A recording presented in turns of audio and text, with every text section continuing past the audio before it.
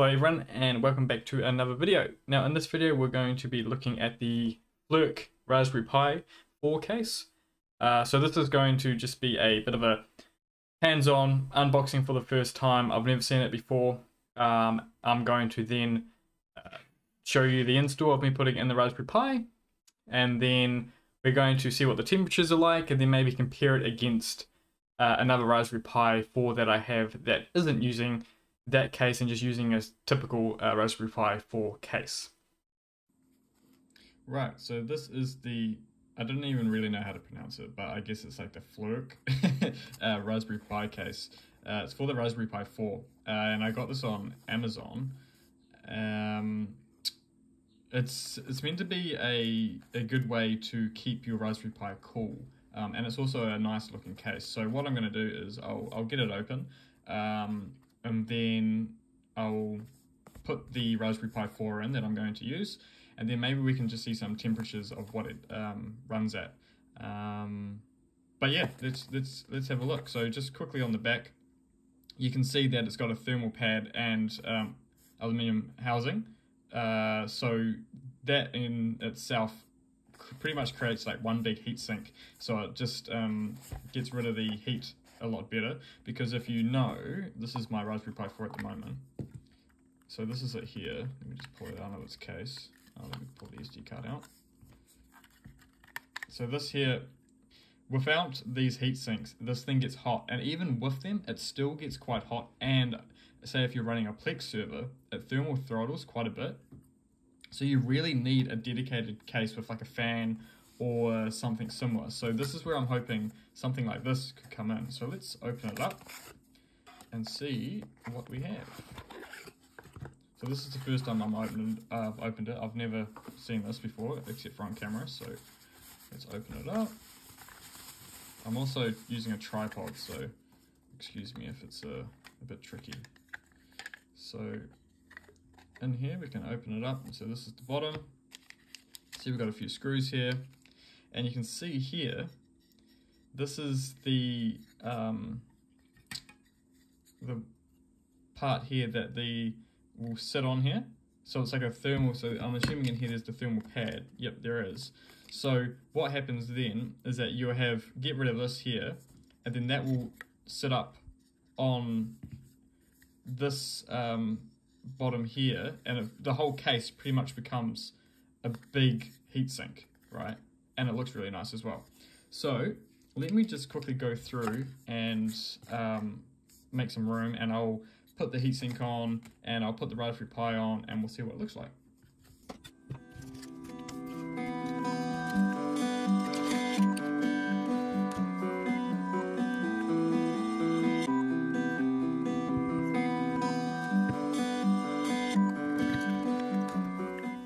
All right, so it's seated in there now. I haven't screwed it in, but that's kind of what it looks like.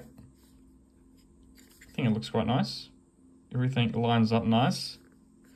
So let's put the bottom on now. And that kind of just sits on there like that. Then we go grab a screwdriver and I'll screw this in.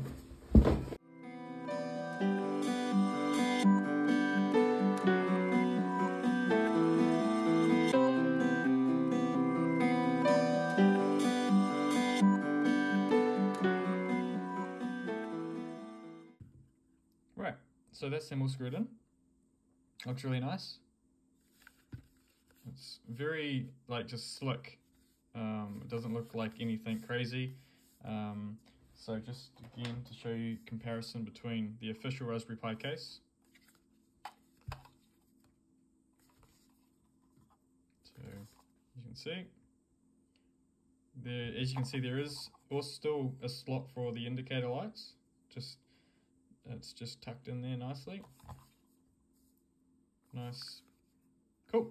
Right, so let's grab the SD card, which is here. Plug that in. Just like so. Right, SD card's in. It doesn't um, extend over the case or anything, which is nice. Right, let's plug it in. Um, and then we'll see the thermals and kind of what it looks like. But for now, what we'll quickly do is we'll plug it in and I'll show you what it looks like just sitting here powered in. Right. Okay, so uh, power uh, and the side. So let's plug it in. Let's look for that. There you go. You can see the uh, the indicator lights there. Nice.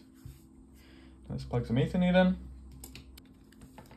There we go. So those are the indicator lights. Again, the indicator lights aren't really hidden or anything by the case, so you can see it all nicely. Right, so I'm going to go back to my desktop now, and we will connect to this, and we'll just run some uh, heat tests, and just see what the idle tests and stuff are at. So that's that's the main thing there. Um, so yeah, I'll see you back when I'm on my Mac. All right, we are back on the main screen here on the Mac. Now, I have connected to the um, Raspberry Pis. So I'll put above here. Um, so on the left hand side is the Raspberry Pi, Pi with the um, the new case and the with the FLIRC case, and the one on the right is a one with the typical official Raspberry Pi 4 case. Okay. Now, other than that, they are identical. Um, now, the one in the Raspberry Pi 4 case, the official case, um, has a um, just a little heatsink on the uh, CPU. But besides that, it's all stock. All right. Um, so yeah, left hand is FLIRC, right hand is the just the general official one with no crazy cooling except for a simple heatsink. Now, what we're going to do is we'll look at the idle temps. So both of them have been running uh, for a while now. Um, so we should be able to see kind of what they're idling at uh, normal. So let's see what the FLIRC case is running at. So that's running at about 45.2 degrees Celsius. Now let's see what the uh, general Raspberry Pi one is running at. So that's running at about 53. Um, okay, so there's a little bit of difference there, and the FLIRC has been running for a while longer um, idle than the um, standard Raspberry Pi. Um, so the standard Raspberry Pi could still be coming up a little bit. Um, but we'll probably just take it there, okay? Let's just kind of round it up about there. Now what we're going to do is, now let's stress test them. So what I'm going to do is I'm going to grab a tool called stress and I will run a, a bit of a, a CPU test on them um, and we'll just get the temperatures as this goes. So let's just quickly install this on both of these. Right, so I've just installed that on both of them. So now um, what we've got here is a command that I can run, which will run the, um, or measure the temperature and while it's doing a stress test. So let's grab this and it's going to run for 900 seconds, okay? So each one of these are going to run for 900 seconds. So let's see how these fare um, together. So let's run that and let's run that. Now let's just watch so after it will happen every 10 seconds, we will see what the temperature is like. So I'm going to just let this run and then um, I will come back after this is done. So I'll see you in a bit.